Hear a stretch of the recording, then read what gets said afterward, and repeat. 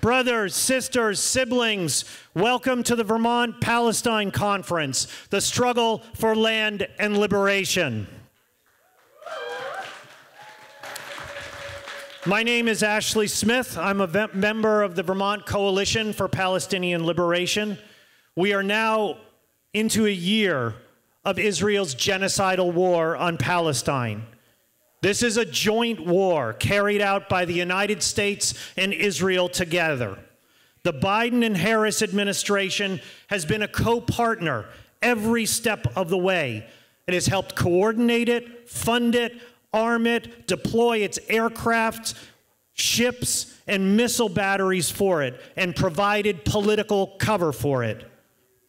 Together, together, the U.S. and Israel have massacred over 42,000 Palestinians in Gaza, half of them women and children. The Lancet estimates that nearly 200,000 people have been killed in the last year. Nearly 2 million people out of Gaza's 2.2 million people have been displaced, many of them several times. They destroyed Gaza's schools, hospitals, and a majority of its homes and apartment building, buildings. They are not just killing Hamas leaders like Yahya Sinwar, not just resistance fighters, but the people of Gaza. This is not an accident because behind the resistance stands the Palestinian people, determined to win their country's liberation. So fighting the resistance entails killing people on a mass scale. That was brutally demonstrated earlier this week when Israel bombed the Al Aqsa Hospital in Jabalia, incinerating an entire tent city filled with patients, including Shaban al Dalu, who burned to death with an IV hanging from his hand. This is genocide. And the U.S. and Israel have expanded it not only in Gaza, but into the West Bank and now into Lebanon, killing thousands and displacing over a million people out of Lebanon's six million people. And now they stand poised to launch a war with Iran. But the Palestinian people in Palestine and throughout the region and throughout the world have steadfast, steadfastly resisted the genocide as they resisted colonialism, occupation, and, and apartheid for decades. We are here today in solidarity with their resistance, the resistance of Palestine's indigenous people, and the resistance throughout the Middle East against U.S. imperialism and the apartheid state of Israel. Their resistance has inspired an unprecedented outpouring of solidarity around the world. For over a year, we have marched, sat in, and organized campaigns on campuses, cities, and workplaces in solidarity with Palestine and its struggle for freedom. In the spirit of solidarity with the indigenous people, I want to read a land acknowledgement about this country and its genocide and what it's done to Native American people for the last 400 years. We are on the historical homeland of indigenous people. We honor their rich history as the traditional and ongoing stewards of these lands. We know that this land is unceded European colonialism carried out massive violence, ethnic cleansing, and genocides to steal their land. The U.S. is a colonial and imperial power that continues this dispossession of native land today. We honor their historical and ongoing resistance of indigenous people to settler colonialism. We support their struggle for justice and self determination. We must commit ourselves to active solidarity with all struggles of indigenous people, from the U.S. to Palestine and throughout the world. This conference has been brought together by the Vermont Coalition for Palestinian Liberation for three key reasons. First, we want to educate people about the real history of Palestine, a history of resistance against settler colonialism and imperialism. Second, we want to connect people committed to Palestine with one another in this state, in our towns, in our cities, on campuses, and in workplaces. Third, we want to inspire people to commit themselves to doing something for Palestine. The time for talk is over, the time for action is now. Everyone should leave to here today with concrete plans to take action in one, two, or three different ways. That can be anything from personally boycotting Israeli products to joining our rallies, becoming a member of the coalition, and participating in one of our working groups. And we have two key initiatives that we want everybody to join in today. One, we want to get you to help us to put apartheid free ballot measures on all town meetings in the spring of 2025. We need people out canvassing their towns and cities, collecting the signatures, and setting the groundwork so that the state of Vermont can vote against apartheid. When we vote against apartheid, that sets up every single town and city and the entire state to launch a campaign for boycott, divestment, and sanctions against this genocidal regime in Israel. We need you to take action. There is a sign up sheet at the back of the room at the apartheid free communities table for people to start canvassing in Winooski and Burlington this coming Saturday. What you do matters.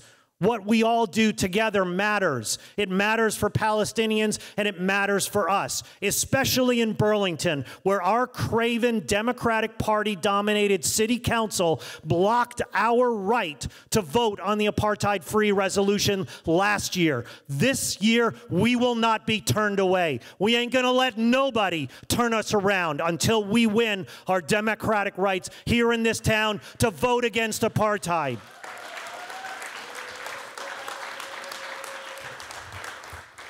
Two, we want everyone to support Students for Justice in Palestine at the University of Vermont.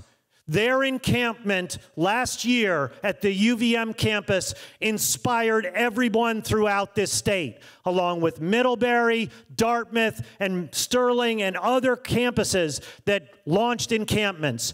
UVM is launched a McCarthyite witch hunt against Students for Justice in Palestine at UVM. Without a trial, they suspended SJP, disallowing it its right to meet, its right to protest, its right to free speech, its right to assemble. To defend the apartheid state of Israel, UVM is censoring people at the University of Vermont. So we're back to the Berkeley free speech movement back in the 1960s when people protesting the war in Vietnam in Berkeley had to fight for their right to speak, assemble, and protest against U.S. genocide in Vietnam. We need everyone to support UVM SJP today. You can donate to their defense fund because they brought a legal court case against UVM. We need everybody to support their struggle. Their struggle is our struggle. When anyone is under attack in solidarity with Palestine,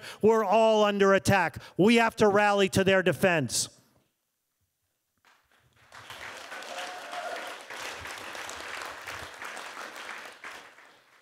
This conference would not have been possible without the generous support of many people and organizations that I want to thank. First, we'd like to thank the Will Miller Social Justice Lecture Series, which gave us a donation so we could rent this space, so that we could meet freely in the city of Burlington, not subject to state and university repression. We'd like to thank, in particular, the Old North End Community Center and Migmar Tsering, in particular, who has done yeoman's work to help organize all the chairs, all the tables, all the meeting rooms that we'll be in today. So give a round of applause to Migmar. We'd like to thank the AL, AALV, which gave us a room on the third floor, floor where one of the workshops will be. We'd like to thank Patrick St. John for designing the beautiful poster that you saw on social media and on your walls of the cities. So thank you to Patrick.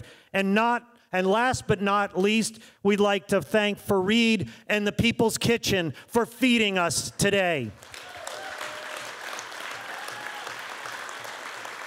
Oh, and I forgot one. I'd like to thank Haymarket Books, which has set up our live stream, which is going out to tens of thousands of people on YouTube today. So a big thanks to Haymarket Books.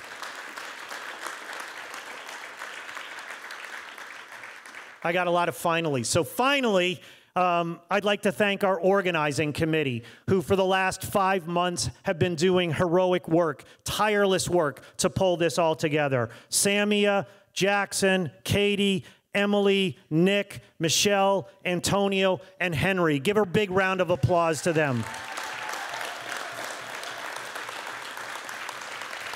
And one of those key organizers that really keeps us all organized, Katie, is going to give some announcements about how the conference will work today. Give it up for Katie.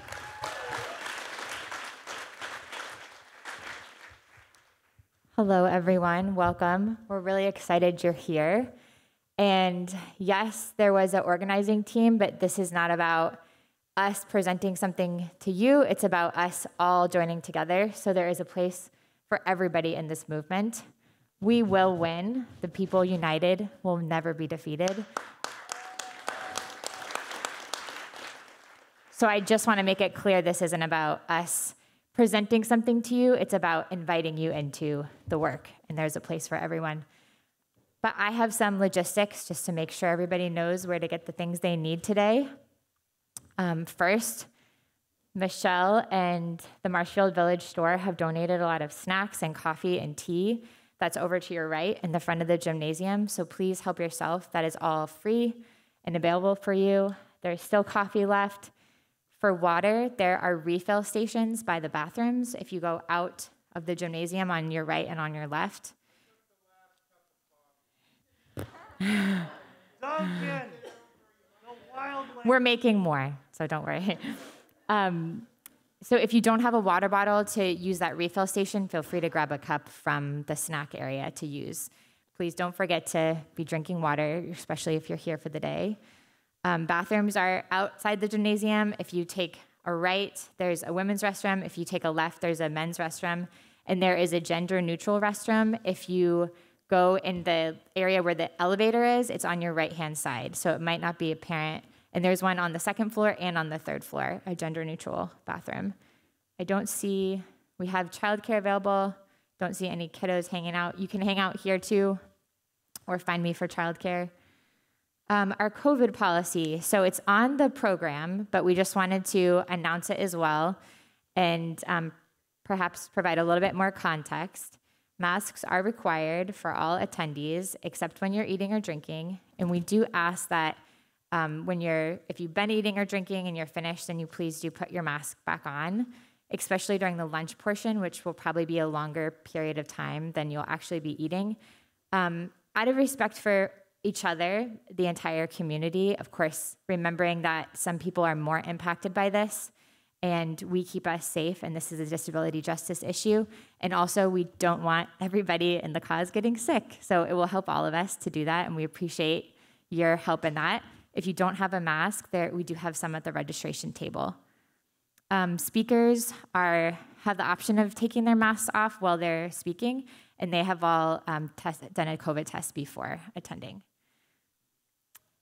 Let's see, elevators are available. Um, as Ashley mentioned, there is one workshop that's on the third floor. So we're also going to do a couple other announcements after this plenary. So I'm not going to give you all the information now, but Everything for the conference is on this floor except for that one workshop. Um, there's also stairs, stairs available. If you go all the way to the right hand side and the left hand side, there's stairs if you don't want the elevator. I think that's good for now, yeah? Okay, we'll do, we'll do a couple more um, explanation of the program and announcements of where to find workshop rooms after the concluding of the session. Thank you all so much for being here, and we're looking forward to a great day.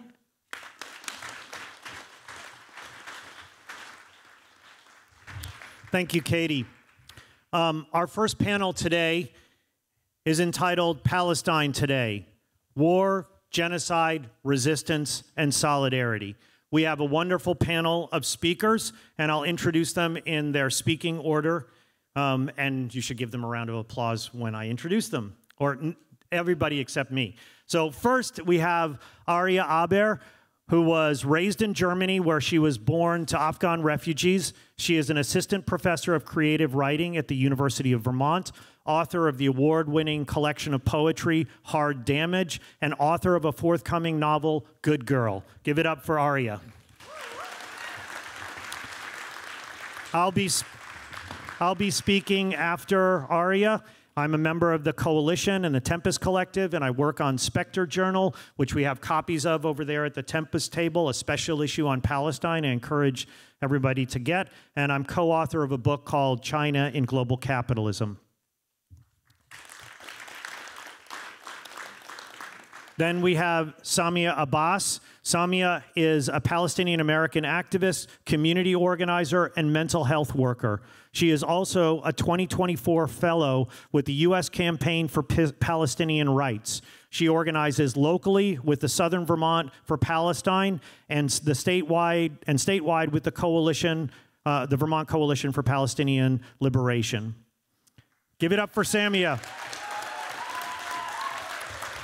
And last but not least, we have Kali Akuno, who is a co founder and co director of Cooperation Jackson, author of Jackson Rising Redux, and board member of Cooperation Vermont and the Cooperation Vermont Community Land Trust. Give it up for Kali. First, please welcome, please welcome Aria.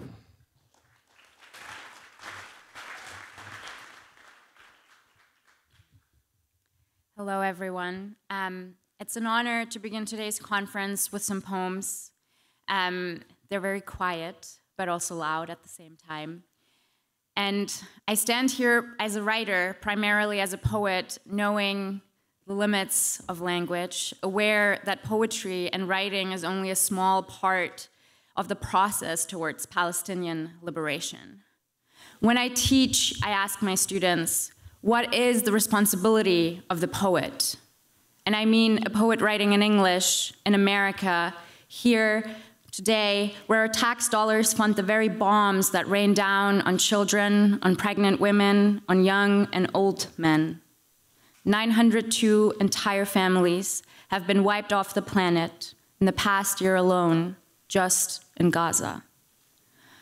I think of Palestinian American poet Fady Joudah saying that the responsibility of the poet is to strive to become the memory that people may possess in the future about what it means to be human.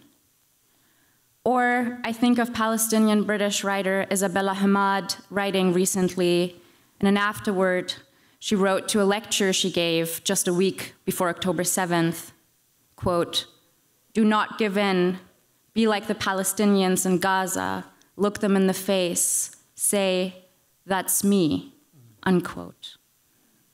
So I like to think of the poet's utterance as a reminder of our humanness, as Joudah writes, and for this reminder of our own humanness to move us off the page and into our bodies, into the streets, into the world, and toward each other, to look at the other, as Hammad implores us, and see yourself.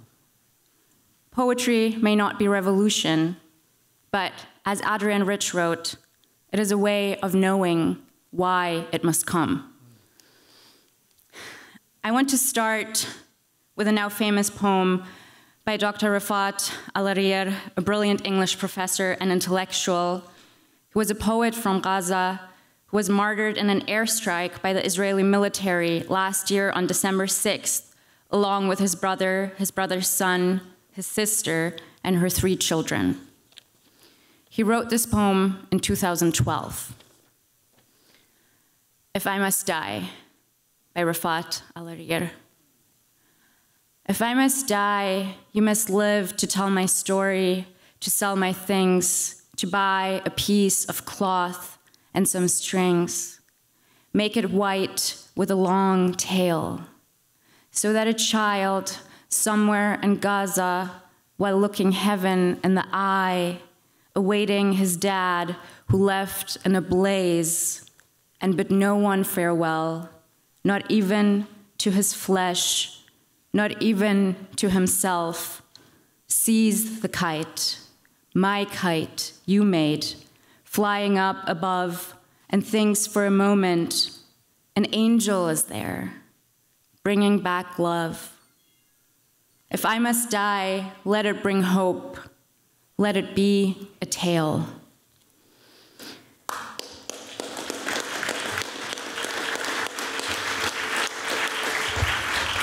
Thank you. Um, the next poem is by Palestinian American poet um, Zaina Alsous, who works in the labor movement in southern Florida. This poem was published in Jewish Currents in April 2021. And I read it as a call to action toward solidarity to the workers of the world to unite and imagine a revolutionary future. The workers love Palestine. The week before the sun announced hospice, my great, great, great, great grandchild, the harpist, announced Workers of the world, join the strike for guaranteed light. The Florists Union and Caracas and the Algerian weavers presented joint proposals toward illumination that multiplies. Bare hills, lakes of salt, sutured dim ruins, shadowless of shipping yards and empires of memories of sarin. The Children's Council listened in wreaths of yellow iris, patterned leaves designating each role. Did you know that within attunement to effort, the end of monument resides? Then the harpist, my progeny, that fate I had so long evaded, debt I owe to demographic warfare, and names sliced open, reborn and disfigured repetition, sang, sang 300 years of returning. Language is merely the placeholder for what the land has always known. Species being is an observation of mom, preface. Absent the wet painting of a raised village, sold. The land is land, land is land, land, land. I am coming home.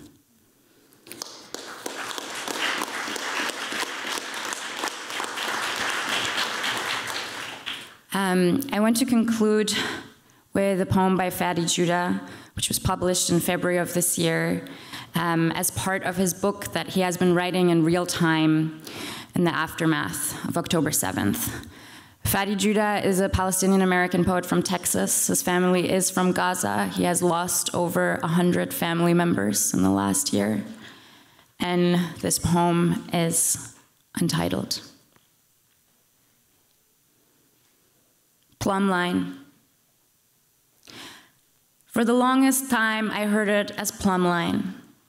I adore a perfect fruit, its flawless groove, revealing division, remaining one. Your earth is lead that poisons the stream of my memory. Your phosphorus plumbs me to the bone. I know how it came to this. How did it? More than words, you speak in silences that amplify white spaces in which white is not water. It smells, I can taste it, and water is life, closer to life than dirt and stone. Dirt and stone. Is that what you love most to taste? I spin and raise my taste and smell into a love like water. How will I go on living with orchestras that conduct my thirst? It's been done before. There are precedents, always will be, and there will be a Gaza after the dark times. There will be gauze, and we will all stand indicted for not standing against the word and our studies of the word that dissect what ceases to be water. Why do you crave plumbing the depths of dust so? Dust and ashes, I'm ahead of my time. My time is only mine when you're in it with an open heart. An open heart has two ears, two eyes, one set for breath, one for blood, and the dance between them, grooved like a plum. I will survive. There is no better song. My body knows my memory is my keeper beyond the loss, and which you're hooked on naming. Can you be water? One day you will be that kind of divine. Thank you.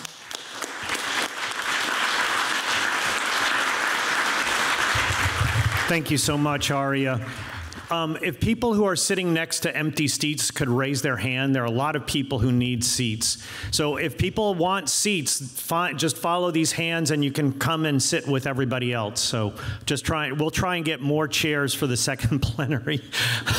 there are a lot of people here today, which is a good thing. Um, when I just heard Aria um, read the poem from, the, from Florida about Workers of the World Unite, I couldn't help but think of the Greek workers who shut down the port just in the last two days in Greece to stop weapons delivery to Israel. Big round of applause for that action. They are showing the labor movement how to fight. So I'm supposed to talk about the war today. And the first thing that has to be said is that this war did not start on October 7th, and it did not end on October 7th. It is the product of what Rashid Khalidi calls Western imperialism's 100 year war on Palestine. First, British and then U.S. imperialism set, supported the Zionist settler colonial project to establish the State of Israel. They needed a reliable ally in the region to enforce their dictates. Britain saw the region in the, in the late 19th century and early 20th century as a gateway to its colonies in Asia. After the discovery of oil, the U.S. saw the region as pivotal to control that uh, to, as pivotal to control because whoever controls the oil reserves controls the key commodity that fuels global capitalism. And they were very blunt about it. The State Department declared in 1945 that these reserves constitute a stupendous source of strategic power and one of the greatest material prizes in world history.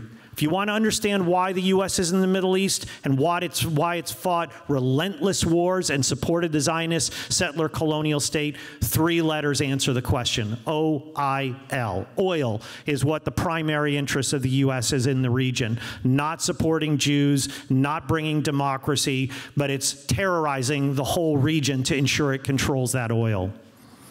The U.S understood that it could not rely on the rest of the region's states. Why? Because even the reactionary pro-Western states in the region were not reliable allies because they feared their people's opposition to imperialism and their solidarity with the struggle to free Palestine.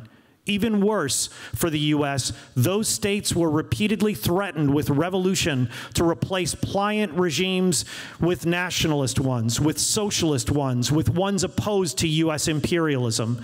Therefore, the U.S. turned to Israel as its local cop with a settler colonial population utterly hostile, fundamentally racist to all the people in the region. The Israeli newspaper Haaretz put it most clearly, declaring what Israel's role in the Middle East was. They said, Israel is to become the watchdog. That explains why the U.S. has funneled tens of billions of dollars into the Israeli war machine over the last several decades. As genocide Joe Biden declared in 1986, supporting Israel is the best annual and I quote, $3 billion investment we make. Were there not an Israel, the United States of America would have to invent an Israel to protect her interests in the region. That explains why Western imperialism supported Zionist colonization of Palestine, its ethnic cleansing to set up the State of Israel in 1948, its imposition of its apartheid state, its occupation of the West Bank and Gaza Strip, and it, Israel's current genocidal war. The threat to this setup has always been the Palestinian people's fight for liberation and that fight for liberation resonates throughout the entire Middle East in the Iranian population, the Arab population, and people throughout North Africa. Their liberation struggle is just like the other great liberation struggles in the 20th century, from India's fight for independence to, Alge- to similar ones in Algeria, Vietnam, and South Africa. Today's war is a direct product of this history and present of imperialism, colonialism, and resistance. U.S. imperialism managed to get the Palestinian Liberation, Liberation Organization to sign the Oslo Accords in the early 1990s. It gave up, the PLO gave up the struggle for a singular, secular, democratic state in historic Palestine in exchange for, for the formation of the Palestinian Authority on a fraction of Palestinians' original homeland in the hope that it would eventually become a Palestinian state but Israel has refused to grant one. Oslo was a trick to entrap the liberation struggle, and Israel and the U.S. knew it. Israel has instead relentlessly expanded its settlements, and the U.S. has turned a blind eye to that expansion, and even worse, has ratified it. That led to the resistance outside the PLO, both popular resistance and through Hamas. Hamas rose in popularity not because of its ideology, but because it opposed Israel's relentless colonization, murder, and state terror against the people of Palestine. It won the election in 2006, leading the Palestinian Authority, backed by the United States, to carry out a coup against Hamas. That in turn led to Hamas seizing control of the Gaza Strip. The U.S. and Israel then turned to divide and conquer tactics to fragment Palestine and its resistance.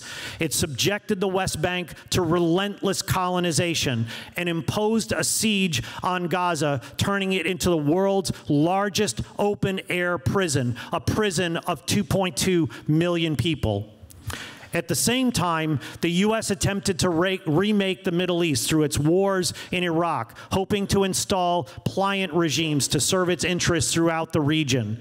Instead, it suffered one of the, its worst defeats in history, on par, par with its defeat in Vietnam. That defeat was a victory for our side. When the U.S. loses, the world wins.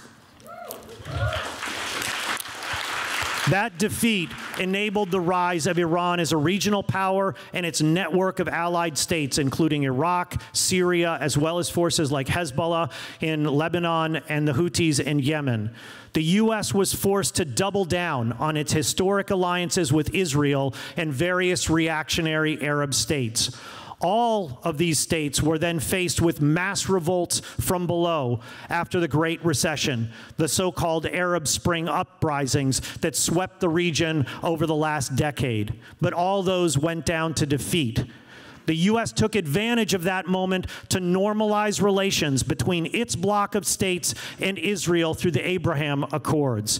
China pushed for normalizations of relations between the bloc of states it is allied with um, uh, to create a rapprochement between Saudi Arabia and Iran. All wanted regional stability to keep the oil flowing. Meanwhile, the conditions for the vast majority throughout the region, and especially in the West Bank and Gaza, continued to deteriorate. Israel relentlessly pursued colonial settlement in the West Bank, its siege of Gaza, and periodic mass killing in Gaza and the West Bank, and war when faced with any kind of resistance, whether it was nonviolent, whether it was popular, whether it was military. Israel responded to all tactics with the utmost brutal repression and killing. Thus, the price of normalization was intensified Palestinian dispossession, occupation, and siege. Hamas and the rest of the resistance within Gaza staged October 7th as an attempted jailbreak out of its siege to call attention to the plight of Palestinians and to smash the normalization of the state of Israel. In response, Israel, backed by the U.S. and its European allies, launched their genocidal war. Israel clearly aims to implement their maximum program of ethnic cleansing, not only in Gaza, but also in the West Bank. Israel actually tried to drive all Palestinians from Gaza into Egypt, but Egypt wouldn't open its borders to let the Palestinians in.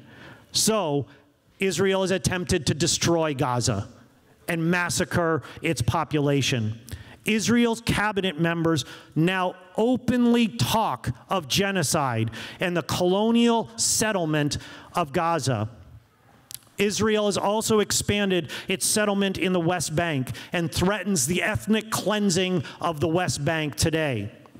Whatever crocodile tears Biden and Harris cry, or whatever tactical disagreements they have with the Israeli regime, they have with Israel they have with Israel, they have backed the genocide every step of the way.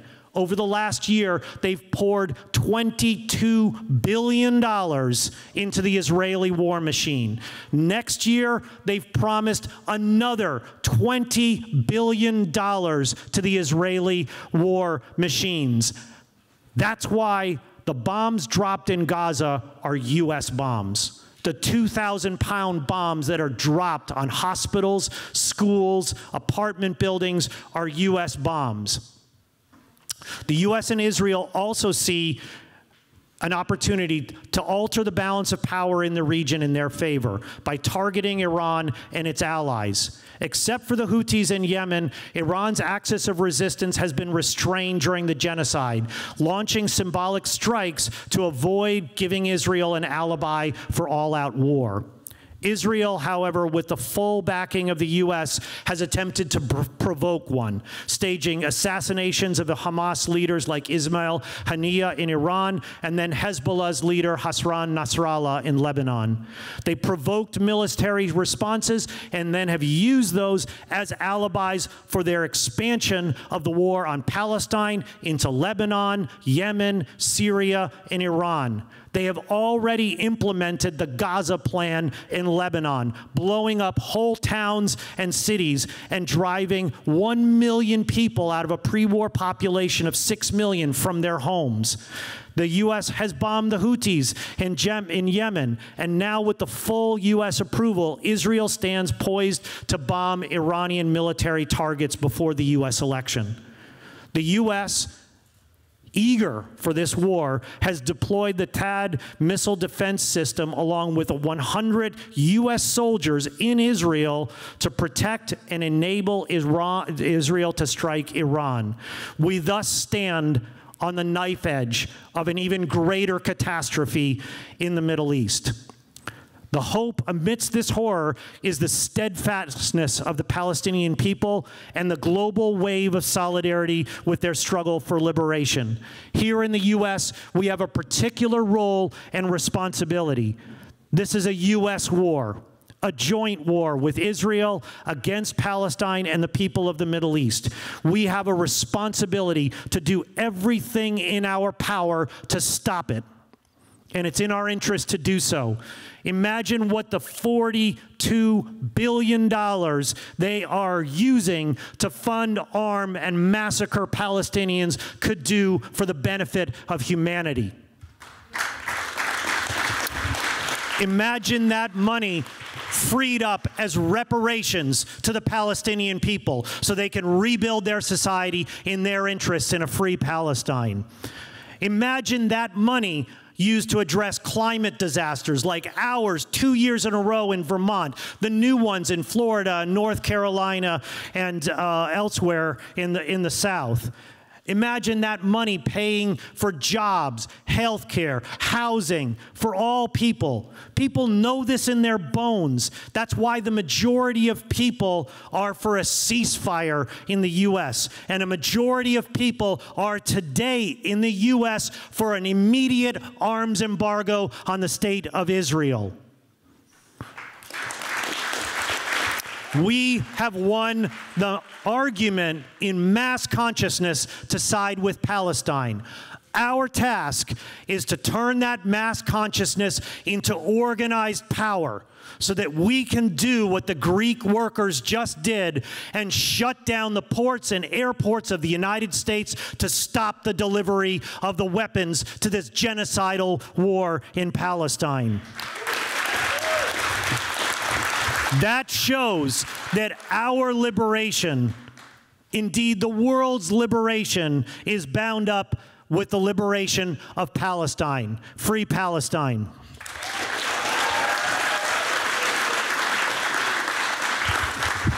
Next up, we have Samia Abbas. Give it up for Samia.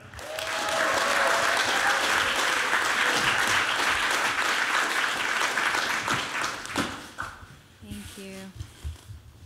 Can you hear me? Sweet.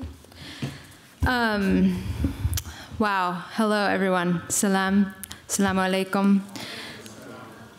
Um, I just want to echo what my comrades have said already that you are all so welcome here, and it's, it's amazing to be in space with all of you. Um, and we're, we're really honored to host you for this conference, the Vermont Palestine Conference, The Struggle for Land and Liberation. I've been asked to talk about the Palestinian resistance globally and locally, which is a pretty huge topic. Um, I will do my best. Um, and when I think about resistance movements, um, it seems important to situate us all here in this time, in the context of this time and place. Um, I want to start with the students. Are there students here? Can you raise your hands, whether you're high school or college? Yeah, rad. Can we give them a round of applause? Yeah. Yeah, just, just for being here, just for showing up for this. Um, this spring marked the rise of what has been called the student intifada at over 100 universities and colleges around the US and also abroad. These encampments were universally expressions of collective power and collective liberation. They were united under the banner of calling for divestment from the Zionist entity, among other demands that seek to dismantle the deep roots of apartheid and oppression within academia. These students were met with violent police repression, vilification, academic and legal punishment, and they have continued to be surveilled, harassed, banned, and arrested. Universities marched in not only police to quash their struggle, but also external security firms. And the interconnectedness of campus police with local and state police departments, which became very clear during that time, um, many of whom these police departments receive training from Israeli forces, is not new. The use of surveillance against students, just like its use against Muslims and Arabs in the United States and elsewhere, ground this response in a clear expression that the Israeli apartheid state is also the American carceral state. That's right. The enmeshment of administration, politicians, the media, and policing bodies points to their shared commitment to keep students and other protesters in their place and maintain the status quo. A status quo which invests in Israel not only through weapons and munitions, but also surveillance tactics, control strategies, and other systems that rely on authoritarianism and militarization.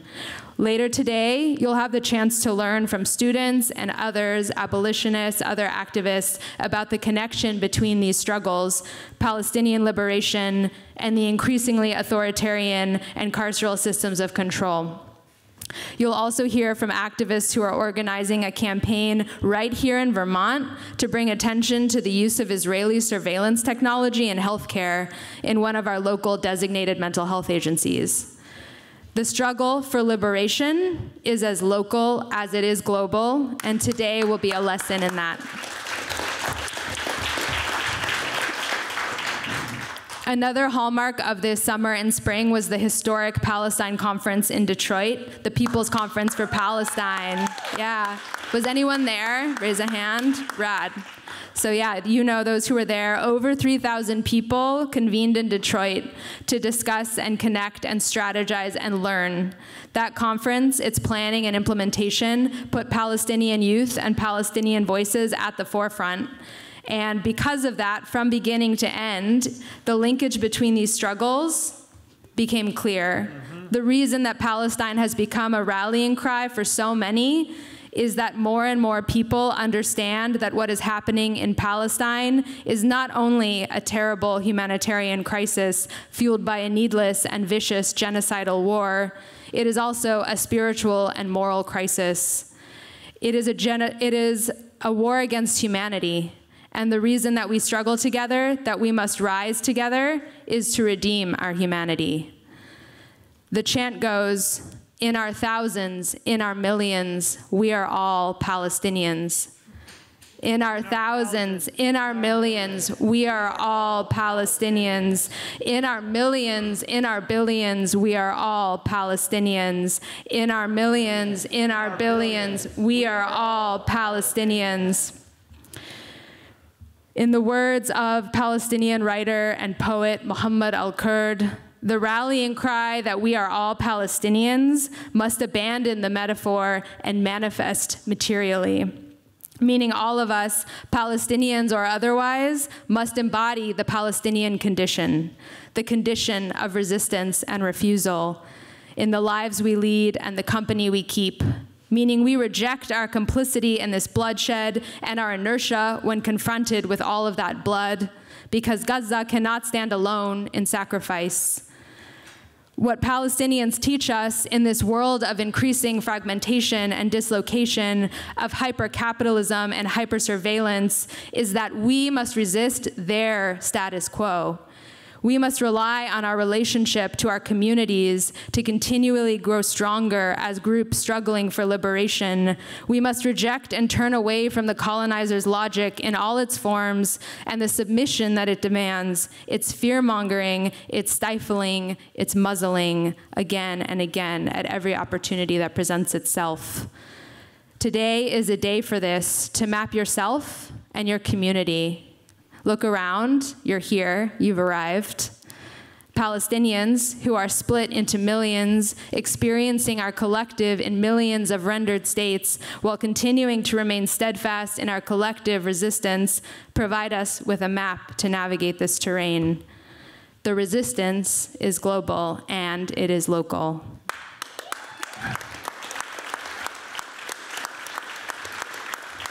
I just want to I, I want to scan out a little bit more. Um, Ashley put amazing words to this in terms of the historical content context of resistance, but I want to say that Palestinian resistance did not start with October 7th a year ago. The US subsidization and funding of Israeli apartheid did not start on October 7th a year ago. The systematic devastation wrought by the Israeli apartheid regime against Palestinians did not start on October 7th a year ago. Many of you, no matter where you are in this movement, have probably heard that echoed in the public consciousness these days, but what does it really mean? And I just want to spend a few moments considering the historical context of this resistance movement, which stretches far beyond the events I noticed, noted earlier. Those who want to go deeper should, should please come to Palestine 101, where there will be a lot more scaffolding of this. Um, from the very outset, Zionism was articulated as a colonialist project. This comes directly from Herzl and Jabotinsky, who wrote that every native Palestinian, every native population in the world resists colonists as long as it has the slightest hope of being able to rid itself of the danger of being colonized. This is what Palestinians, who he called Arabs in Palestine, are doing, and they will persist as long as there remains a solitary spark of hope that they will be able to prevent the transformation of Palestine into the land of Israel. So, from the outset, there was a clearly expressed recognition that the intention of Zionism was always to minimize the indigenous population by any means necessary and maximize the settler population. This has always been at the forefront of the Zionist project. It was never simply a reaction to Palestinian violence or supposed hatred, though it is often portrayed that way in the media and in Zionist narratives. In 1948, a Nakba was the forced expulsion of 750,000 Palestinians from their homes. Hundreds of thousands more were driven out by the subsequent wars following the creation of the State of Israel. But again, to be clear, and as Rashid Khalidi has said, this was not simply an act or result of war. This was an explicit and clearly grounded settler colonialist process, which sought to eliminate and barricade and sequester the indigenous population, just as has happened in this country, in South Africa, in other parts of the world. What is Jim Crow, is Bantustans, is apartheid, is occupation. That's right. To call something a war infers some sense of symmetry, and there is no war of equals here. Israel would not exist without the support of not only the United States, but the other colonizers of Britain and France, the Balfour Declaration, the Security Council, and the express ongoing financial and political backing of Western imperialism.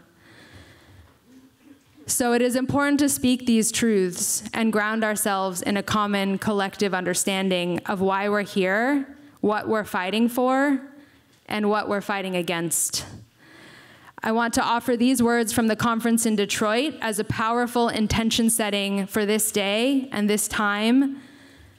Do not let the occupation's rage and blind destruction distract you from the absolute truth the truth is that there are no bombs strong enough, no fires hot enough, no prison brutal enough to destroy the spirit of the Palestinian people. We are not a people that can ever be destroyed. The occupation does not know that for the Palestinian people, the dead becomes the martyr, mm. the prisoner becomes the teacher, the besieged becomes the free, and the refugee becomes the key that will surely return to its rightful home. Victory is not an abstract concept or an unknown future. Victory is on the horizon. Mm. Victory is what we are here to organize for. All of you here today have been written into the history of the Palestinian people and into the history of this struggle. So, how do we do this, achieve victory? From the historic moments of the past year when millions have mobilized, gone into the streets, boycotted, showed up at city council meetings or select board meetings, called for divestment at every level, held signs, chanted, gotten arrested. One, we get organized. Mm-hmm. We join political organizations. If you haven't already done that, today is a day to plug in and to learn what's out there. Two, we articulate and we deepen our understanding of this fight which is to expose and dismantle Zionism and the Zionist project and all of the insidious ways this threads through our capitalist, colonialist, racist, fascist, and imperialist systems. Because we know that as long as settler colonialism exists, it seeks to destroy. Mm-hmm. And three, we strengthen, we grow a grassroots movement. We bring in more people from more parts of society, growing and expanding our reach. Each of you is an integral part of this because you represent countless others. That's right. You represent your community, and the mass mobilization that is spreading across our country and wrapping around the world would not be here without you. So, finally, many finallys, as Ashley put it, I want to end my time with something that comes directly from Palestinian political consciousness and storytelling. Palestinians run on sometimes, so that's my my my place. Basil al-Araj, the martyred Palestinian activist, wrote about the experience of national liberation struggle and waging a people's war in Palestine through the metaphor of living like a porcupine and fighting like a flea. Quote, porcupines are night animals that live underground in a relatively large hole that connects to a network of tunnels. The porcupine, bear with me, the porcupine uses various techniques to get in and out of the hole, making the animal seem paranoid, or what we call in Palestine a high sense of security. The porcupine has a significant presence in Palestinian popular memory and folk stories. The flea, too, has fascinating fighting strategies and techniques. It stings, it jumps, and stings again. It does not kill its host. What it does is exhaust its host, consume its blood, causing constant disturbance, eventually preventing the host from being able to rest. It makes the host nervous and demoralized. Mao Zedong says, The enemy advances, we retreat. The enemy camps, we harass. The enemy tires, we attack. The enemy retreats, we pursue. His theorizing on guerrilla warfare can be described as a flea war live like a porcupine, fight like a flea. Our national liberation struggles today are global ones because the context of imperialist capitalism and colonialism is global and international as much as it is local and national. From Ferguson to Gaza to Vermont, Palestine is us and we are Palestine the experience of the student intifada this spring, and when we chant globalize the intifada, and from Palestine to Mexico, border walls have got to go, and when we wrap ourselves in kafiyas and show up for black lives, indigenous lives, trans lives, Palestinians' lives, solidarity is global and it is local.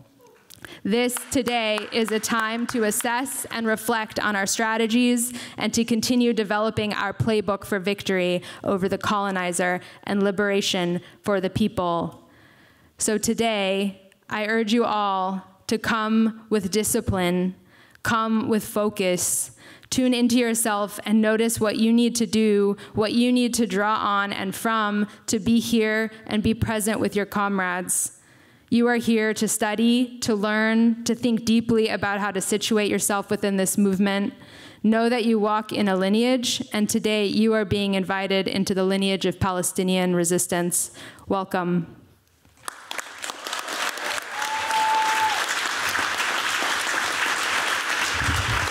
From Palestine to Mexico, border walls have got to go. From Palestine to Mexico. From Palestine to Mexico.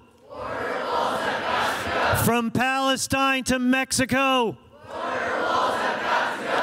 I was thinking when um, Samia was talking about Mohammed El Kurd that Mohammed El Kurd was censored here at the University of Vermont. If people don't remember, the Will Miller Social Justice Lecture Series, which is one of the sponsors of today's conference, invited Mohammed El Kurd to come in person to UVM last fall.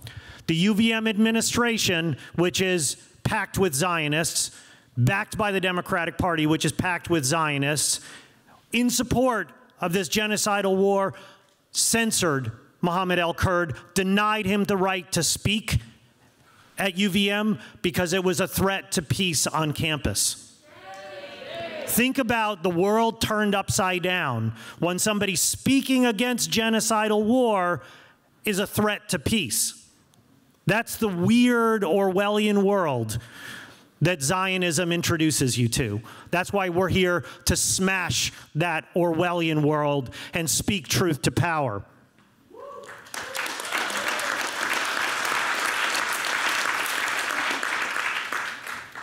Next up, we have Kali Akuno. Please give it up for Kali.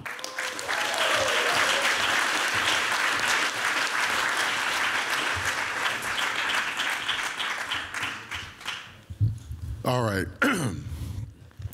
you all have uh, forced me to change what I had prepared to do, which is a good thing uh, because it speaks first and foremost to the level of unity uh, that we have and I think that needs to be recognized. Uh, that's important because you really can't build a political program of action without clarity and without unity. So, to hear and see that, I think we need to note where we've come because we would not have been in a room in October 6th yeah. and had this level of clarity. So I want us to be very cognizant of that, right? Now, what I'm going to try to speak to was supposedly, you know, what I was asked to do was about the kind of the international context. I'm going to try to weave it with some international context, but bring it home. Because as an internationalist, to me, that means very concrete things. It doesn't just mean abstractly fighting for someone over the other side of the world.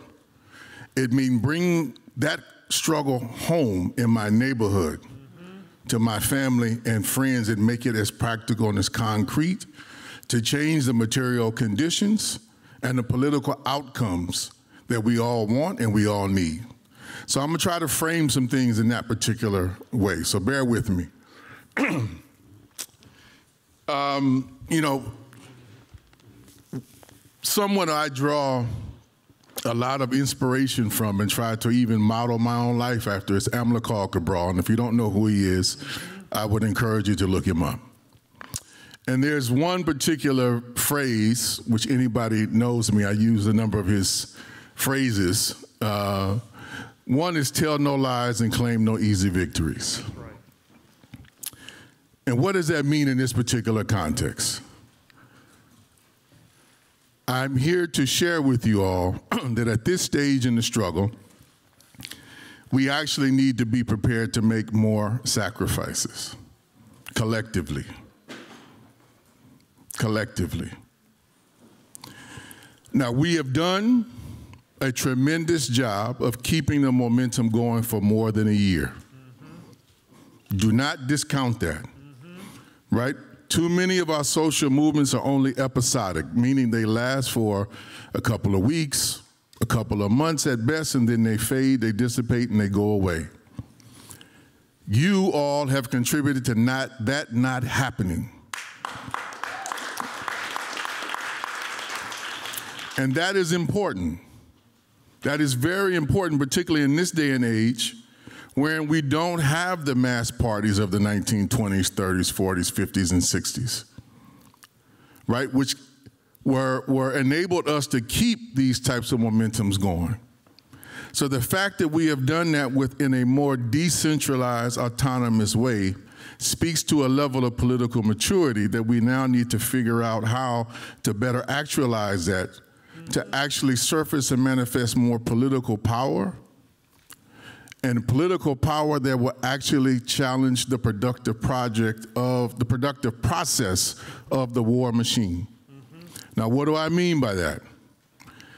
Greece was cited as an example. As an example that we are overdue in executing here in the United States.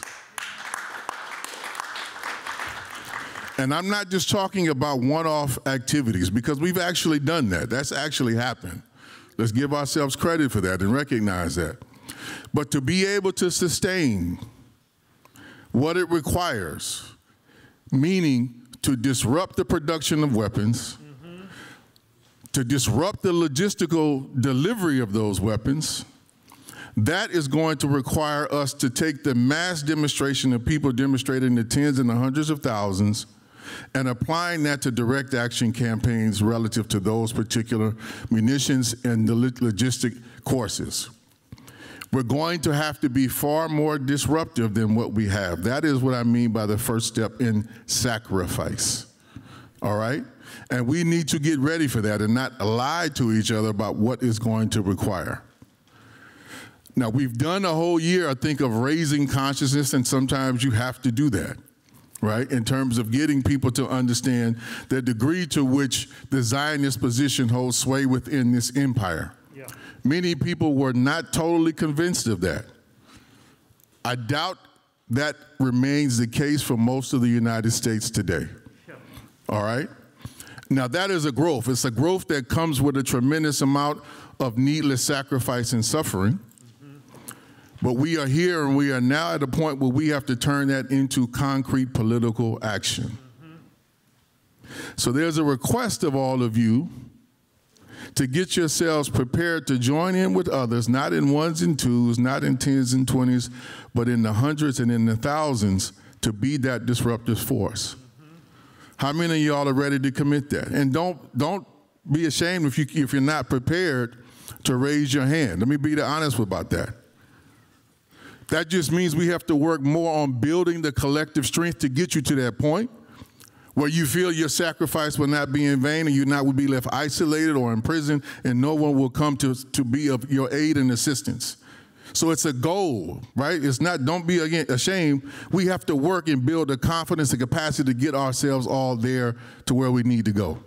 Again, that's not lying to ourselves because we're not all ready to engage in that, and that's fine. The question is, how do we get ready? All right, how do we get ready? What do we need to do to look at each other in the face and say, all right, I need you to help me in this particular way to move and take this position and understand the sacrifice. And when I make this sacrifice, my community won't abandon me. Right? That there will be some support, there will be some aid, there will be some solidarity. Once we get to that particular point, then people will be willing to speak out against these universities or, you know, be willing to, to make some concrete challenges, knowing that they, their tenure may be snatched, which is beginning to happen. Yep.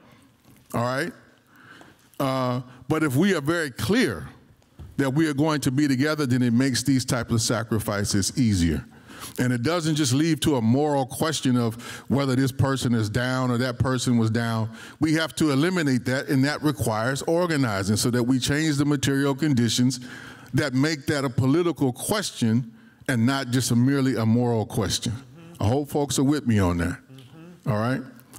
Now, the other piece, you know, I do want to speak to the international piece because I think it's critical that we understand the age in which we live in. I would challenge you all to recognize that we are living in a rapidly changing world. Rapidly changing on many levels. And I'll just speak to one that the valiant resistance of the Palestinian people has brought to the fore. And I would challenge you all to look at one thing October 7th did change. It is basically eliminated the false notion that colonialism was a project of the past. Yeah. And as exposed to the world, it is a very living essence of how capitalism and imperialism structure the world in the present, in the now. And if we let them continue to run the show, how it will be in the future. And what do I mean by that? Listen, I want everybody, you know, uh, uh, to, to go and listen to Kamala Harris's statements yeah. about uh, uh, Yahya's uh, assassination, which is basically what it was. She basically outlines a dictate to the Palestinian people and to Arab peoples in particular. You either do what we say or we will kill you. That is the essence of the statement. Do not lie to yourself about it. Read through it underlines. Like, oh, you know, we'll, there'll be a Palestinian state, but only if we say so. And only if the Palestinian people give up any notion of resistance and totally submit to living in a Bantustan and being in slavery. Yep. Be clear. Okay? And the resistance said, hell no. We are not living in that way. And the resistance has totally shattered, by way of the United States conduct in particular, any notion that they are about democracy, yep. that they are about human rights, that they are about a, a, a rules based order. Mm-hmm. All of that has gone to the wayside. Nobody believes that crap anymore. Not that many people actually did anyway, but it is gone now. And what evidence can I cite to you to, about, about that? Now, this is world still in transition. But one thing I would cite to you is the South African case. Yes. Okay? Understand its importance. Is it stopping genocide? No. But is it a challenge to this false notion of a rules based international order? Absolutely. Mm-hmm. Okay? The same thing with the ICC case. Now, they tried to split the baby and said, well, we're going to, you know, charge uh, a few Palestinian leaders and Netanyahu and some of the war leaders. But I want y'all to recognize one particular thing. This is the first time, the first time, this little kangaroo court has ever charged a Western leader for anything. Yep. Any damn thing. Okay, and put out some orders that should this person or these people show up, arrest them. Now, not many Western states are going to comply. Don't have no illusion about that, yeah. right? But it does restrict some of the movements, and that is important. Particularly when you recognize that you can take almost any vote, and not just recently, but any vote relative to, to the Palestinian cause, be it about uh, the, the wall or be it about the, the illegal settlements. And it's almost unanimous that the vast majority of the nation states vote in favor of the Palestinians. Yep. Time and time again. All right, that means something. And what we need to, to kind of recognize in all of this is the total asymmetry that still exists in the world. And what do I mean by that? It's not that, I would argue, it's not that the vast majority of people don't want to come to the aid of the Palestinian people, both at the state level and in the social movement level, is that particularly most of the nation states, folks need to be clear. They, they exist in a state of utter terror at the destructive capacity of the United States government. the destructive capacity of the United States government, which doesn't just manifest itself in bombs, so we all clear. It also manifests itself in mass starvation campaigns and capital flight, which keeps people impoverished, which is just as maniacal, if not more so, than a bomb because it restricts your life force over a slow, gradual period of time, which is what they're doing to most of the nations that raise any particular question around what Israel is allowed to do by its United States benefactor. All right? Now, one, one last thing. I've heard a lot of people say it's not clear what we should be doing now, over a year. And some folks beginning to become somewhat disillusioned. Well, we've done all these marches, we did the student protests. What now do we do? The struggle is not just an aggregation of like tactics right? It has to be a long term, protracted thought because that is the nature of what this enemy is prepared to do and what we have prepared to do. So we, it's a matter of building momentum, right? And transforming consciousness, which is the prelude to transforming political power. Mm-hmm. Okay? We need to understand that a lot of the, the, the limitations that we are seeing on a global level is not because the movements are dissipating they are actively being repressed. Look at Germany if you want to understand some of the limitations that are going on and the extent to which these nation states are protecting their collective vested interest in this colonial project. Germany is not alone. England is doing much the same. Most of the other Western countries, including this one, are doing the same. And best believe this is a point where the Republicans and the Democrats have a high degree of unity, all right? That they are going to try to limit political space in this country to be it so that any serious criticism, even of the, just the basic policies of the Zionist state, become an, an illegal act. Now, what does that mean? That means we're going to have to be prepared to go back to the first point more sacrifice because we cannot be silent. That's not at, on offer. But we need to be prepared to deal with the consequences of speaking up in this new political environment. So we're going to have to have each other's back. That's the bottom line, right? And get more organized to be able to, in, to deal with this. So that's the gap to which I want to speak to. But I think the road forward on how to deal with this, at least from our positionality, is very clear we have to disrupt the war machine and do all of that, what, what that entails.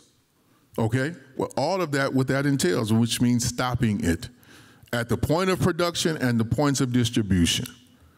So I want everybody to think about what that looks like in Vermont, what that looks like in New Hampshire, what that looks like in Maine and Massachusetts and this greater region. And I bring in that up because y'all got some facilities that make weapons for the United States that get delivered to the Zionists right here. That's right. And if you didn't know that, learn it and figure out a tactical and strategic approach on how to deal with it. Because solidarity begins here, right here. The action starts right here where you're at. You're in a vital strategic point to disrupt a critical part of this entire genocidal operation seize it, and help liberate the Palestinian people and all of us because those two things are intimately linked. Do not think that they're not. Thank you.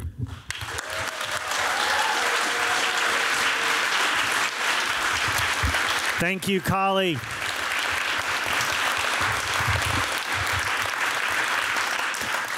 I realized I forgot to tell the punchline about Mohammed El Kurd being censored is that we did a virtual meeting for Mohammed El Kurd, and 11,000 people watched it.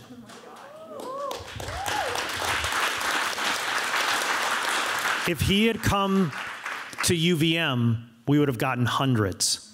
Their repression turned hundreds into 11,000 people. They cannot repress us. Do not let them intimidate us. We, if we are as steadfast as Palestinians, we are going to win. But this struggle is not a sprint. It is a marathon, and we have to be marathon runners for justice. And so we have to get our act together in an organized fashion. And that's the role of this conference. Number one, to educate people. Number two, to connect and organize people. And number three, to get people to take action. Take action, most importantly, collectively. And I think we want to start imagining what that looks like. Imagine every single campus not only has an SJP chapter, but that SJP chapter is a hub of all the campus organizations together coming out for Palestine. That we make Palestine an unavoidable issue for every other organization on campuses. Imagine in your community that every single church, synagogue, mosque, community organization joins apartheid free communities. Imagine we get a ballot measure on every single town and city in our state where we can vote to liberate ourselves from apartheid.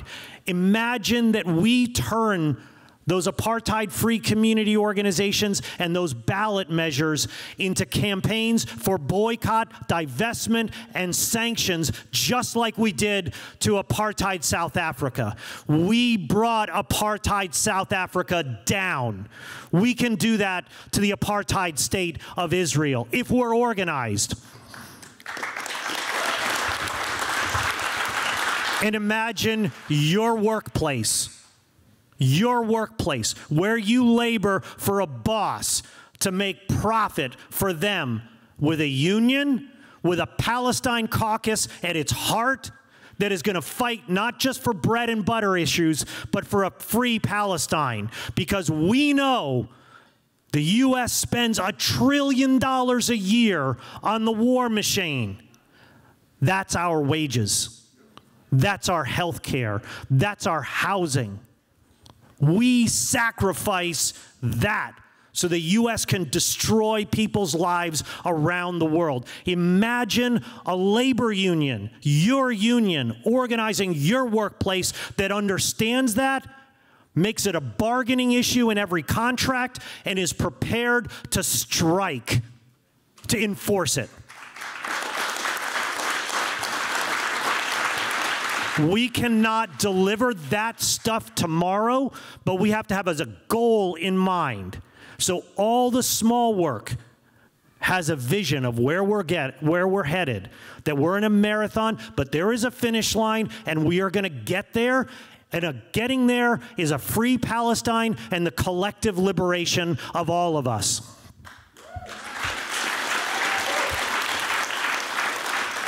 Okay, I, there are two announcements that we have. One from Samia. Do you want to do your announcement? About, okay. Please give it up for Samia again.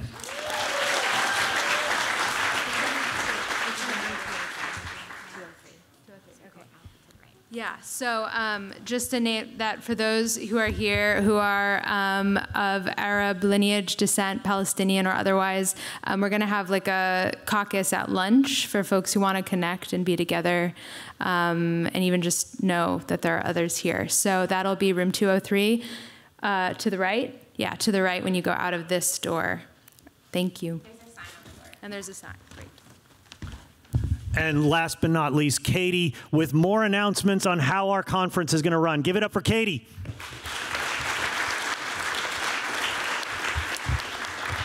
Hello again. First, I just wanted to give you a quick run through our program in case there's any questions. Actually, first I'll say welcome to everyone watching this stream. And the next stream is going to be at 5 p.m. And it's also on the Haymarket YouTube channels. It's a different link. It's a different link. Thank you. Looking at the wrong camera. It's a different link, um, but if you go to the Haymarket YouTube channel, you'll be able to see where it's counting down to it. So that's where you can find us at 5 p.m. for the closing plenary. And for everyone who's here in person, the program, if you don't have a program, there's a lot more available at the registration table, so feel free to grab one. Um, first, please don't join the Wi Fi that's listed in the program. The reason is because we're using it to stream the conference, so it could affect the stream if too many people join. Um, so, thank you for doing that. Yeah. Um, inside the program is the schedule. So you can see we're moving into lunch, and then the lunch portion will go until the first workshop block starts at 1. The workshops are listed, and you'll see the room number for the workshop underneath of it. I just want to draw your attention to the Defending Our Civil Rights is room 305, which is not on the second floor, it's on the third floor. The other thing about the workshops is there is limited space in the rooms. They can hold about 40 people. So there is a chance that the workshop that your first choice will be full. And if that's the case, that we ask you choose another one. There is going to be a workshop in each block held in the gym, so there will be plenty of space there. And if all the rooms are full, I don't think it will be an issue, but if it is, then you can always attend the one in the gymnasium. The other thing is don't forget there's a lot of great groups and artists and organizations tabling here in the gymnasium. So that will be ongoing. If in between sessions and stuff you're wondering what the options are, then the gym is a good central place to be for that. Um, there'll be another break in between the workshops. It's on your schedule. And then also on the back of your program, there's more information about the Vermont Coalition for Palestinian Liberation um, the website and information about the next meeting, especially for those of you who are in the Chittenden County area. Um, the next meeting is on November 2nd, so just want to draw your attention to that at the bottom. And for anyone watching the stream, if you are in the Chittenden County area or you want, you're willing to travel to the area, it's being held in Burlington, and you're welcome to come to that meeting as well.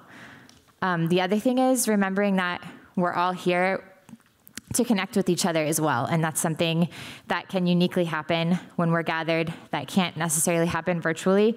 So please take advantage and just let's normalize introducing ourselves to each other as much as you're comfortable, of course. Feel free to connect with those who are sitting next to you here in the workshop spaces. And we have some questions listed, so you can just be like, Katie told me to ask you this if you're not sure how to get started. There's some questions listed in the program that you can use. Um, so that is a little overview of the program. Um, for lunch, I know I had a couple people sign up to help with setting that up. I don't have that list in front of me, but if, that, if you were one of them, then please get ready to jump into that. Um, during lunch, so if you need to be in a, a masked space, of course, a lot of people will be removing their masks to eat and drink. Um, we're going to ask you see the workshop rooms listed in your program. 203 actually is not one, so that's not an issue. Any of the workshop rooms we're going to say is a masking mandatory space during the lunch portion if you need a space to go where people will be masked. And also, of course, we want everyone to be able to eat. Um, you're welcome to take food outside as well. It's really nice out right now, and that might be a safer space as well. That's lunch.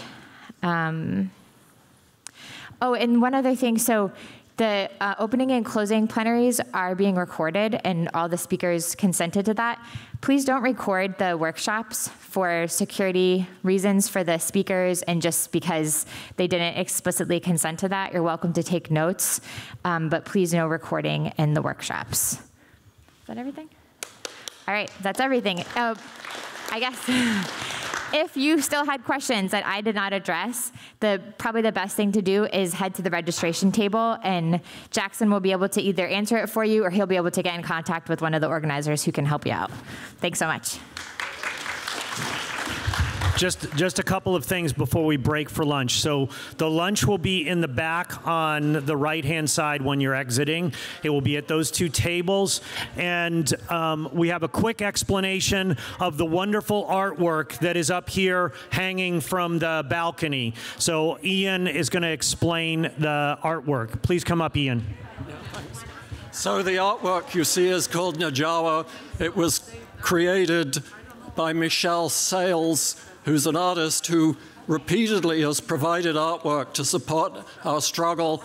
It, it was created in 2015 for the South Burlington Art Hop and has been displayed a number of times since then. You will notice that it covers the, uh, each decade since 1948. So it re reminds us, as has been said several times, our struggle did not begin a year ago last October. It, it began decades ago, here portrayed by, since the Nakba in 1948. The struggle actually began earlier than that, uh, was, as has been explained this morning. So thank you. Do look at the artwork and admire it. And we all thank Michelle Sales for having created it. So lunch will be arriving soon. Enjoy the lunch. Thanks again to the People's Kitchen. And then get ready for your workshops and see you back here in the evening plenary. Thank you all. Uh, hello, my name is Antonio Galan. I live here in Burlington, Vermont. Uh, I am a member of Champlain Valley DSA, the, the local chapter of the Democratic Socialists of uh, America. Uh, and I'm one of the organizers of, uh, of this conference. Uh, and after the, the plenary, the, the beginning of the conference, I say, we're pretty happy with, with the turnout uh, and excited to have a day of connecting with other uh, Palestine uh, activists, Pal Palestine solidarity activists, uh, and hoping to be more organized and more informed moving forward. Hi, uh, my name is Michelle McCormick. I'm with Cooperation Vermont and the Cooperation Vermont Community Land Trust, and we are members of the Vermont Coalition for Palestinian Liberation. We are here at the Old North End Center today in Burlington for the uh, Struggle for Land and Liberation conference to really learn more about what all has been going on, like most recently, but historically, about the conflict in Palestine and what can be done towards Palestinian liberation, and to connect with other folks who are trying to learn more, but also who are organizing in our community throughout throughout Vermont. We've got people from all over the state here today, and. Um, and to, to figure out how we can organize better to take action in the future for a sustained movement. Hi, I'm Ashley Smith. I'm a member of the Vermont Coalition for Palestinian Liberation. I'm here today at the Vermont Palestine Conference, the struggle for land and liberation. And we have brought well over 200 people here today together to talk about learning more about Palestine, connecting with each other, organizing ourselves collectively, and beginning to take action to build solidarity with Palestine, to pass apartheid free community ballot measures in towns and cities across Vermont, and to prepare for a long struggle to impose boycott, divestment, and sanctions on every single institution, every single organization, and the whole city town and state system of Vermont because Vermont needs to stand with Palestine. We are wasting trillions of dollars a year on the U.S. war machine. We are wasting millions and millions and millions of dollars a year on arming Israel to carry out genocide in Palestine. And today we're saying this must stop. And we are organizing for the long haul to make sure that victory is won in Palestine,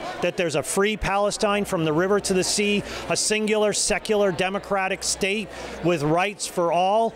And that kind of justice will guarantee peace in Palestine and with it a liberated Middle East. And in liberating the Middle East, we'll free ourselves because all the money that goes to the war machine can go to helping people there and helping people here. We want to put people before profit and empire. Hi, I'm Theo Wheeland. I work for the nurses and the techs union uh, here in Burlington, Vermont, and today's a beautiful Saturday uh, in October. We are gathering for the Palestine conference. We have an incredible turnout. I'm really surprised to see so many people from so many places uh, labor activists, uh, Palestinian activists, um, people of many different movements um, and experiences have come together um, to share tips and tricks um, and organizing tactics of how we are going to uh, end Israeli apartheid, end the war. Uh, we want to see peace in the Middle East. We want to see peace around the world. Um, you know, we're workers that um, make you know all the wealth in this society, and we see a, a trillion dollars every year going into war. Um, and it just doesn't make sense when we have homeless people, when we have student debt, uh, when we have hungry people. We I, I, just saw today in the news that scurvy is back in America because. Um, workers uh, don't have enough money to uh, purchase broccoli and vegetables uh, and oranges, um, and you know just shouldn't be like that, right? We've we've never lived in a wealthier time in America. We people shouldn't be homeless. Uh, people shouldn't be struggling to pay rent. You know, we want the trillion dollars every year that we produce to go to housing, healthcare, and social services. Um, we want, uh, you know, we want a labor movement that doesn't just fight for higher wages and benefits, but also um, knows that the uh, the success of the labor movement is international. It, it, depends on workers around the world succeeding, right? So if, if we're doing well here in America, uh, factory owners can build factories in Mexico or in China or in Bangladesh, right, and outsource our jobs. And of course, they've done that for 50 years. And um, we know that the solution is to unionize around the world um, and to have an international perspective. And and what, what uh, you know the bosses often want to do is they want to pit us against each other. They want to pit us against each other at work, along gender lines, along race lines, along language lines, around you know meritocracy. Oh, I have this degree, I have that degree, this certification, that certification. But I mean, look at Trump and, and um, Kamala. They also want to divide us along uh, national lines, you know, of who's in, who's out, who's a citizen, who's not a citizen, you know, who got here yesterday and who got here a couple generations ago. And we reject um, those divisions. We know that we're stronger together and we're safer together. So we like to say safety through solidarity. And Zionism, you know, started with the premise of the only safe place is a place that's entirely run by Jews. And so people in the 1880s, they looked around Earth, where can we have a, a Jewish homeland? And um, you know they looked at different spots. There's a spot in Africa, a spot in in uh, Russia, I believe, um, and uh, and for many different political reasons, they, they ended up going with Palestine. And that core premise of our safety has to come at the expense of other people, other people's land, um, that's something that Jews all around the world are rejecting. Uh, in this moment, increasingly so. Uh, and in its place, um, I think a, a, slogan that's much more suitable to the labor movement is rising up, which is safety through solidarity. So what if um, Jewish people can be safe anywhere, right? And the and the safety will come in uh, solidarity of people recognizing that we have mutual interests. Every person on earth wants a good job, you know, water, housing, healthcare, education. We all pretty much want the same thing. We want to live in peace and live and let live. Um, and yeah, and so that's uh, why we're gathered here today to try and move that movement forward in many different ways, uh, electorally, in the labor movement, um, in our workplaces, in our in our uh, communities, in the streets with, with street protests, peaceful protests, things like that. Um, and yeah, we think we're going to win. I mean, there's countries all around the world. I saw just yesterday the prime minister of Italy, who's uh, by no means a leftist. I mean, I think she's the granddaughter of Mussolini or something like that. Um, she's on the right wing of Italy, but she has said we're not sending any more weapons to Israel. Um, you know, I think Keir Starmer has said similar things like that. Macron in France has said that. So, you know, these are not left wing people, and they're just recognizing that the government of Israel is out of control. Um, Netanyahu is out of control. Um, you know, they they the, these uh, you know right-wing European leaders will would not make the same criticism of Zionism like us in this room. You know, but they're recognizing something needs to be done to protect innocent people uh, from this senseless war. And uh, uh this week, Greek workers, uh, Greek dock workers, blocked a supply of uh, bullets to Israel. Um, and yeah, I mean that I think is the path forward. Is each person, wherever they're at, doing what they can in their own way uh, to to stop the war and bring peace and bring reconciliation um, and bring justice uh, to that situation. So that's why I'm here. I'm stoked at the turnout. I've already met some great people. Um, if you're here in town, come on over. If you're watching this later, uh, watch the panelists. There's a lot to learn. We have a lot to learn from each other. There's activists in this room that have been working on this for decades, uh, and they'll be educating all of us. Uh, we have a lot to learn and a lot to do together.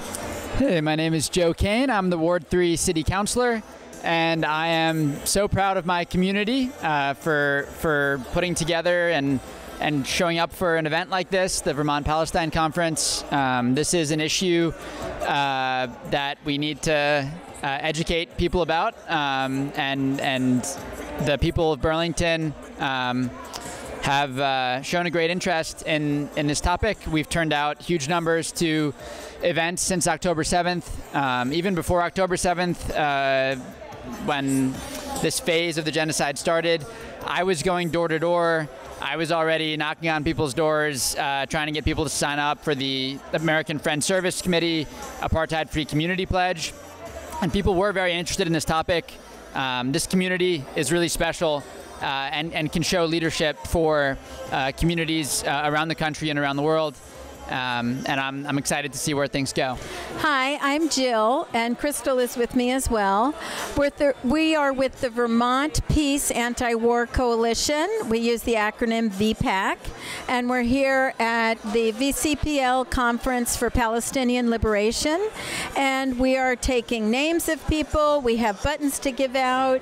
Um, we want to mobilize people all over Vermont, which is what we've been doing for the year and a half that we've we've been in existence. And right now we have a couple of special projects I want to tell you about. One is the play One Family in Gaza, which the um, the playwright is right here with me, Crystal. It's based on her daily communication with a young father in Gaza, and it tells the story of a war that's still going on. It's very simple to put on, it's very moving, and it's a great conversation starter with people uh, who any peace activists might know who need to understand the gravity of the situation. And we are offering an orientation session where you can put this on. We're also going to be starting uh, peace vigils at the General Dynamics plant in Williston and a webinar about the insidious nature of the military industrial complex on our communities and economy in Vermont and around the world, around the country. I'm Andy Simon. I'm with the Champlain Valley chapter of an organization called Jewish Voice for Peace. And we're here at the uh, Palestine conference to talk to people about what Jewish Voice for Peace is. It's a group of primarily Jewish people in Vermont and New Hampshire and all over the country and all over the world who are standing for in solidarity with Palestine and with Palestinian liberation. And we want to be a Jewish voice to speak uh, to that issue because so often people who are in solidarity with Palestine are attacked as anti Semitic. And so a, a Jewish voice has been, and this has been since you know, for 40 years, the Jewish Voice for Peace has been speaking out on this issue and uh, now locally has uh, something like 800 members who are in Vermont and New Hampshire working on this issue.